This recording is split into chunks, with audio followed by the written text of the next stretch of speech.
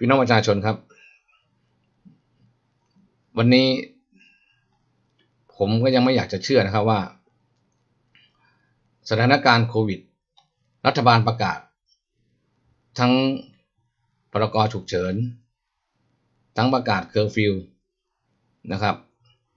ก็ยังมีผู้ใหญ่บ้านคนหนึ่ง ในจังหวัดสิงห์บุรีนะครับ เปิดบ่อนการพนันขนาดใหญ่ มีคนเล่น ไม่ต่ำกว่าร้อยคนนะครับ ผมให้ดูภาพก่อนที่ผมจะพูด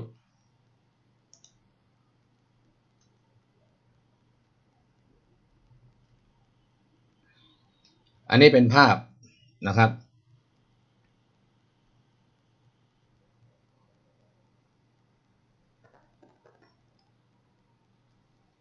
อันนี้เป็นภาพนะครับ บ่อนการพนันของบ้านผู้ใหญ่บ้านนะครับ ใน จังหวัดสิงห์บุรีนะครับ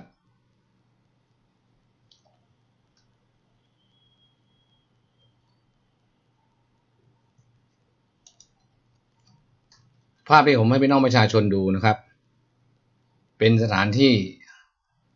จอดรถที่เป็นบ่อนการพนันขนาดใหญ่ ในจังหวัดสิงห์บุรีนะครับ อยู่ในอำเภออินบุรี จังหวัดสิงห์บุรี ซึ่งเจ้าของบ่อนคือผู้ใหญ่บ้าน ได้มีการเปิดการเล่นการพนันนะครับ ทุกวันนะครับ ไม่มีวันหยุด แม้ทั้งวันนี้ก็ยังมีการเล่นกันอยู่ มีคนที่เข้าไปเล่นเป็นร้อยๆคนนะครับ ซึ่งสิ่งต่างๆ เหล่านี้เป็นถึงผู้ใหญ่บ้านจะทำผิดกฎหมาย ผมก็ไม่เข้าใจว่าตำรวจสิงห์บุรีนะครับ อยู่ในพื้นที่อินบุรีเนี่ย รับสวยขนาดไหน ถึงกล้าให้มีการเปิดบ่อนการพนันขนาดใหญ่ ขนาดนี้ ผู้ว่าราชการจังหวัดสิงห์บุรี อยู่ยังไง ไม่รู้ว่ามีบ่อนการพนันที่ผู้ใหญ่บ้านเนี่ยเปิดบ่อนการพนันขนาดใหญ่ ในบ้านของผู้ใหญ่บ้านเองนะครับ ฝ่ายปกครองไม่ว่าจะเป็นปลัดอำเภอในอำเภอนะครับดูยังไง ถึงไม่รู้ว่ามีบ่อนการพนันขนาดใหญ่ ในอำเภออินบุรี จังหวัดสิงห์บุรีขนาดนี้ สิ่งต่างๆเหล่านี้ มันควรจะหยุดนะครับ ในช่วงนี้บ่อนทุกบ่อนนะครับ มันไม่ควรจะเกิดขึ้น เพราะว่าคุณเข้าไปเล่นกันเป็นร้อยร้อยคนพอคุณติดเชื้อมานะครับ ในจังหวัดสิงห์บุรีอย่างเงี้ย แล้วผมถามว่าพี่น้องประชาชนบ้านใกล้เคียงบ้านใกล้เรือนเคียง จะทํำยังไง ผมฝากผู้ว่าราชการจังหวัดสิงห์บุรีนะครับว่า ท่านช่วยไปตรวจสอบบ่อนนี้ด้วยครับว่าบ่อนผู้ใหญ่บ้านที่อินบุรี จังหวัดสิงห์บุรีเนี่ย ตามภาพนะครับ ขอให้เข้าไปจับกลุ่มหน่อย แล้วก็เข้าไปดำเนินการปลดผู้ใหญ่บ้านออกจากตำแหน่งได้แล้วนะครับ เพราะเอาตำแหน่งผู้ใหญ่บ้านเนี่ยมาแสวงหาประโยชน์ด้วยการเปิดบ่อนการพนันขนาดใหญ่ มีคนเล่นไปร้อยร้อยคนนะครับ มีรถจอดเห็นไหมครับจำนวนมาก นี่คือสิ่งหนึ่งที่อยากจะบอกพี่น้องประชาชนคนในประเทศว่า สถานการณ์โควิดเนี่ยมันสร้างความร่ำรวยให้กับข้าราชการ นะครับไม่ว่าจะเป็นเรื่องหน้ากาก ไม่ว่าจะเป็นเรื่องของแอลกอฮอล์ไม่ว่าจะเป็นเรื่องของนะบ่อนการพนันแบบนี้นะผู้ใหญ่บ้านเปิดเองอย่างเงี้ยนะครับ สิ่งต่างๆเหล่านี้ผมอยากบอกเลยว่า มันคือความอัปยศความบัดซบของคนที่เป็นข้าราชการท้องถิ่น ผมไม่แปลกใจครับว่า การที่ผู้ใหญ่บ้านกำนันผู้ใหญ่บ้านเนี่ยบอกจะมา จัดการเรื่องเงินห้าพันบาทให้กับพี่น้องประชาชนคนในทั้งประเทศ แล้วปรากฏว่าพี่น้องประชาชนคนในทั้งประเทศเนี่ยคอมเมนต์ไม่เห็นด้วย ที่จะให้กำนันผู้ใหญ่บ้าน มาจัดการเรื่องเงินห้าพันบาท ผมเข้าใจเรื่องระบบการจัดสรรเงินห้าพันบาท ให้กับพี่น้องประชาชน แล้วเกิดระบบการผิดพลาดเนี่ยจำนวนมาก เพราะสิ่งหนึ่งเนี่ยนะครับ ผมต้องเรียนพี่น้องประชาชนคนทั้งประเทศนะครับว่า โครงการเนี่ยเป็นโครงการที่ดีของรัฐบาล แต่ระบบการจัดการเนี่ยเป็นระบบที่เฮงซวยที่สุด คุณจะให้คนไปกรอกเนี่ย คุณเคยคิดบ้างไหมว่าคนที่แก่ คนอายุมากดีกว่า คนอายุมาก คนที่ไม่มีความรู้ด้านคอมพิวเตอร์เนี่ยเขาจะไปกรอกคอมพิวเตอร์ยังไงครับ ในการขอยื่นเงินห้าพันบาท ผมถามว่า คุณก็อ้างว่าลูกหลานก็ได้ บางครั้งคนสูงอายุเขาก็ไม่มีลูกหลานเพราะลูกหลานทำงานต่างจังหวัดสิ่งต่างๆ เหล่านี้ผมคิดว่ากระทรวงการคลังอะ ควรจะไปทบทวนบทบาทในการจัดสรรเงินเยียวยา 5,000 บาทนี้ แล้วก็เกิดปัญหาตามมามากมาย บางคนไม่ได้เป็นเกษตรกร ก็ไปใส่เป็นเกษตรกร บางคนเป็นข้าราชการ ก็ก็ได้เงิน 5,000 บางคนเป็นเจ้าที่รัฐวิสาหกิจ ก็ได้เงิน 5,000สิ่งต่างๆ เหล่านี้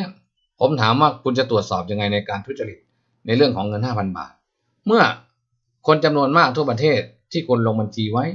คุณก็จ่ายจ่ายจ่ายจ่ายจ่ายไปไอ้คนที่คุณแจ้งความเขาเนี่ยสองลายสามลายนะคือคนที่ออกมาโชว์โง่แค่นั้นเอง ที่คุณสามารถแจ้งความจับได้ แต่ผมถามว่าในระบบ ในระบบที่คุณมีการจ่ายเงินไปเข้าบัญชีไป คุณจะรู้ได้ไงว่า คนพวกนี้คือคนที่ก่อข้าความทุจริตนี่คือปัญหาของกระทรวงการคลัง คุณจะพิสูจน์ยังไงว่า ระบบที่คุณทำอยู่เนี่ย เป็นระบบที่โปร่งใส เป็นระบบที่มีการคัดสรรมีเป็นระบบที่มีการจัดสรรเงิน 5,000 บาทเนี่ยให้ถึงมือคนยากคนจน คนที่ตรงตามกติกาที่คุณวางกำหนดไว้ ที่บ้านผมนะครับ มีคนได้รับเนี่ย ไม่ต่ำกว่าหกคนนะเราไม่ขอรับเลย แม้แต่บาทเดียว เพราะเราคิดว่าเงินจำนวนห้าพันบาทสำหรับพวกผมเนี่ยนะครับ เอาให้คนยากจนดีกว่า เอาให้คนที่เขาเดือดร้อนดีกว่า เพราะเราเองก็ไม่ได้ลำบากถึงขนาดต้องไปไปขอรับจากรัฐบาลนะครับ ผมที่บ้านทุกคนนะครับ สละให้กระทรวงการคลังไป ให้กับคนยากจน ให้กับคนที่หาเช้ากินข้ามคนเดือดร้อนนะครับ ผมเรียนนะครับว่าระบบจัดสรรแบบเนี้ยรัฐบาลควรมีมาตรการในการดูแลดีกว่านี้ ไม่ใช่ ไม่ใช่ปล่อยให้มันเกิดการผิดพลาดนับถึงขนาดที่ว่ามีประชาชนเนี่ยต้องไปถึงบุกไปถึงกระทรวงการคลัง แล้วก็แก้ปัญหาไม่ได้ต้องให้อุทธรณ์อย่างเงี้ยมันมันเป็นระบบที่ผมเข้าใจนะครับว่าเป็นระบบที่มีการจ่ายเงินจำนวนมาก แต่เมื่อมีการจ่ายเงินจำนวนมากเนี่ยระบบบริหารจัดการเนี่ยมันควรจะดีกว่านี้นะครับ ไม่ใช่สร้างปัญหาแบบนี้นะครับ อันนี้ก็ฝากข้อคิดไปยัง กระทรวงการคลังนะครับ ก็สิ่งที่ท่านพลเอกประยุทธ์จันโอชาพูดนะครับ ว่าท่านก็ยอมรับความผิดพลาด แล้วก็ขอโทษต่อพี่น้องประชาชนก็ถือว่าเป็นลูกผู้ชายคนหนึ่ง ที่แสดงเซฟริตออกมายอมรับว่าผิดพลาดจริงๆนะครับ สิ่งหนึ่งก็ตามนะครับ ผมเรียนพี่น้องประชาชนว่าเราเข้าใจดีว่าความเดือดร้อนของพี่น้องประชาชนเนี่ย มันยังไม่จบเพียงแค่นี้หรอกครับ ผมมั่นใจว่าโควิด -19 เนี่ย ไม่ใช่เกมสั้น แต่เป็นเกมยาว สังเกตจากอะไรรู้ไหมครับ สังเกตจากการคนที่เสียชีวิตทุกวันนะครับ ผมเคยเรียนแล้วนะครับว่าโควิด -19 เนี่ยคนที่ติดเชื้อแล้วไม่ออกอาการเนี่ยมีมากมายนะครับ ผมเองเนี่ยดีลกับตัวแทนของรัฐบาลสิงคโปร์ผมก็สอบถามไปยังตัวแทนของรัฐบาลสิงคโปร์ว่าประเทศยูเนี่ยเขาทำยังไง อย่างที่ผมเรียนนะครับว่าประเทศสิงคโปร์เนี่ย นะครับเขาจะมีการทดสอบเนี่ยทุกอย่างเนี่ยตรวจสอบเนี่ยฟรีหมด หน้ากองหน้ากากฟรีหมดนะครับเขาไม่มีการทุจริตเหมือนบ้านเรา เราต้องยอมรับความเป็นจริงนะครับสิ่งหนึ่งก็ตามนะครับโควิดเนี่ยจะกินปอด จะกินปอดอันดับหนึ่งเลย เมื่อปอดคุณเนี่ยถูกไวรัสโควิดเนี่ยกินเข้าไปนะครับ สุดท้ายก็ไปกินสมองก็เสียชีวิต จะสังเกตได้เลยว่า จะมีคนเสียชีวิตทุกวันนะครับ คนติดเชื้อจะลดลงหรือไม่ลดลงเนี่ย ผมไม่ได้มายเลยตัวนี้เลย